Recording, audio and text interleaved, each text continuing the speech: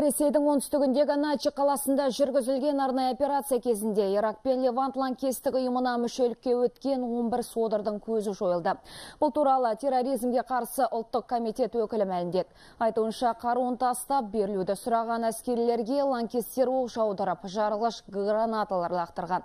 Жауап ретінде оқ атқан құқық қорғау қызметкерлері олардың барлығының көзін жойды. Сондай-ақ операция кезінде ланкестер жасырынған жер асты мекенде анықталды.